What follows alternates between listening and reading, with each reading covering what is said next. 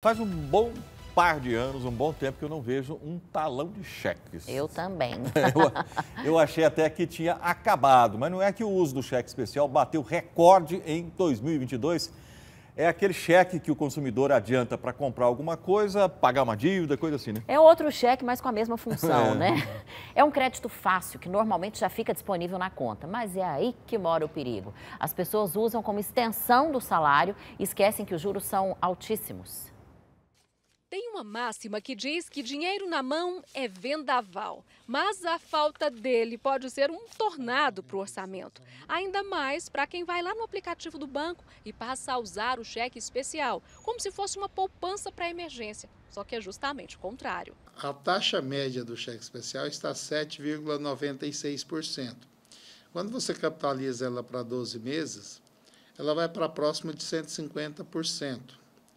150% aplicado sobre mil reais, você foi para R$ 2.500. Segundo o Banco Central, o uso do cheque especial bateu recorde em 2022. Mesmo com juros nas alturas, a facilidade de acessar o dinheiro com poucos cliques pelo celular ou programando para cair automaticamente na conta faz com que muita gente nem faça os cálculos antes de acessar o recurso. De vez em quando eu acabo utilizando o cheque especial. O mês que a coisa aperta e eu perco um pouquinho o controle da finança, eu uso. Só que realmente isso não é o ideal. O juro é muito alto e quando eu vou fazer as contas no fim do mês eu me arrependo. Esse educador financeiro diz que empréstimo com FGTS como garantia, alguns consignados ou até mesmo algumas modalidades de crédito pessoal podem ser opções melhores se não tiver outra maneira para pagar as contas. O ideal é não gastar mais do que se ganha com um controle simples. Façam as anotações no teu caderno.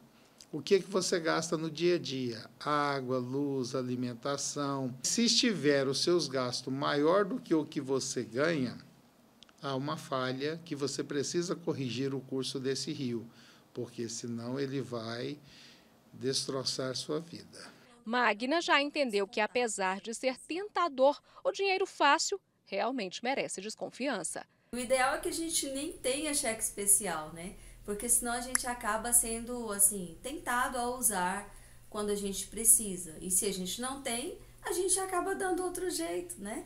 Para quem está com dinheiro contado ou atolado em dívidas, buscar uma segunda opção de renda é o caminho mais seguro. Fazer os famosos bicos ou um segundo turno de trabalho isso é cansativo? É cansativo, mas por um tempo, para você equilibrar e dar uma condição melhor para a sua família, é importante. Aquilo ali que a Magna falou, só tem um jeito de não usar o cheque especial, não ter cheque especial. Santo remédio.